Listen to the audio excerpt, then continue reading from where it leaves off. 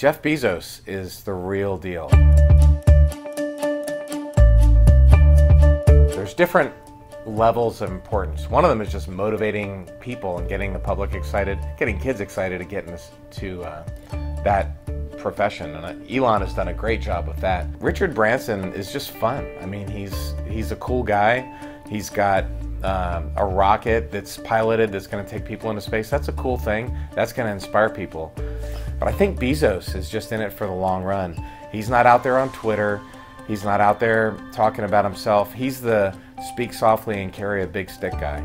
To put uh, several of the big companies in context. So Virgin Galactic is really focused on space tourism, these short uh, suborbital flights. They also have Virgin, Virgin Orbit that's going to have a rocket attached to a 747.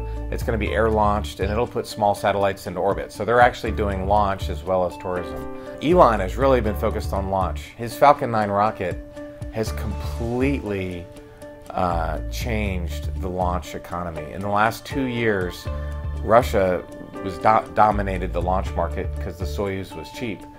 The Falcon 9 is cheaper. Jeff Bezos is the real deal. His company is legit. The BE4 engine that he's making, I think, is going to be the most important rocket engine of the 21st century. Lots of rockets are going to be using it. Government rockets, um, rockets launching telecom satellites, and also people. He's doing things a little bit slower. He's he got started maybe five or ten years after Elon did, so he doesn't have that head start. He's doing it all on his own. He's not working. Most of his programs are not with NASA or with the government. He's just doing this on his own.